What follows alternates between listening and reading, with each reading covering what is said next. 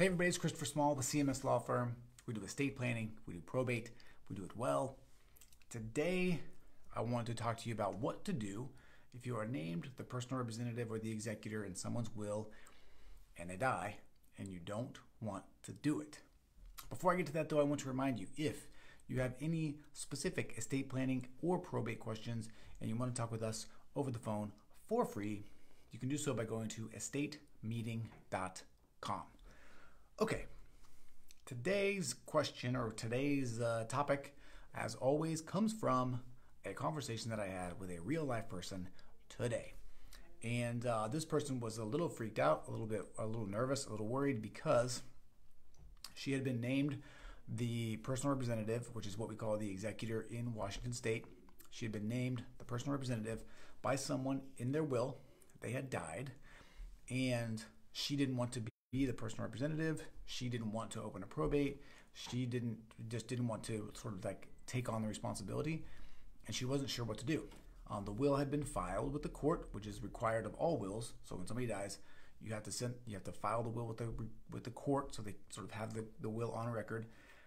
Um, but she wasn't sure what to do after that. She tried to decline to be the personal representative, but they wouldn't let her do that because no probate was opened. And she was worried about sort of taking on some personal liability um, for not sort of moving things forward.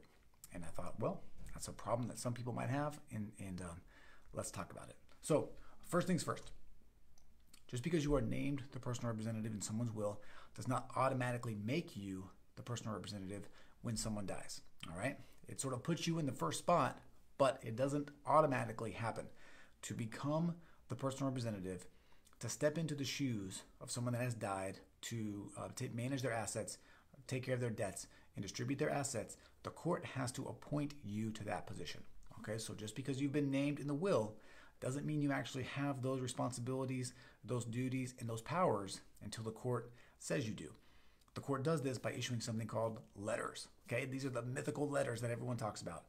But until you have those, you don't, you're not actually technically the personal representative, even though the will says they want you to be the personal representative. So until that happens, you technically don't have any responsibilities, you don't have any obligations, you don't have any duties to do anything. You literally don't have to do anything if you don't want to. And that's what was happening in this case. Uh, she didn't want to take on the responsibility, so she wasn't doing anything. The will was filed properly, and now was just sitting there, and she was getting worried. Um, the other reason you can't file the the um, okay, so um, that's one way to say no, just not do anything. It, there are, uh, basically anyone is allowed to open a probate for anyone. Okay, to get that out of the way, it's not just the personal representative. Anyone can open a probate. Um, they may not be named the personal representative. They may not want to pay for that, but anybody te- technically can. So someone else in that family is going to have to do that.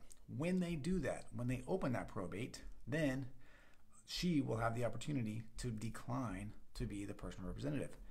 Very simple to do that. It's simply something you file with the court that tells the world, hey, I know this probate's getting open. I don't want to do it. You don't really have to say why. You just decline. And that's it. They'll name the next person. They'll go on to the next person in the will, or somebody else will step up and raise their hand to be named the personal representative. Okay? So that's it. That's how you do it.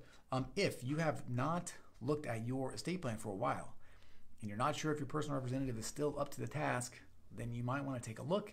You might want to ask them.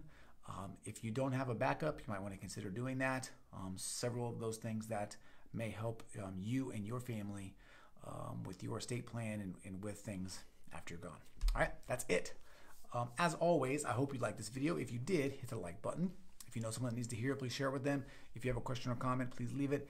And if you have a specific question regarding estate planning or probate and you want to ask us, you can do so by going to estatemeeting.com. You can set up a time to talk with us over the phone for free.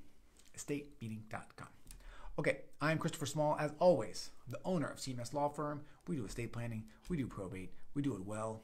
Thank you for your time. Thank you for your attention. I appreciate you, and I will talk to you again soon. See ya.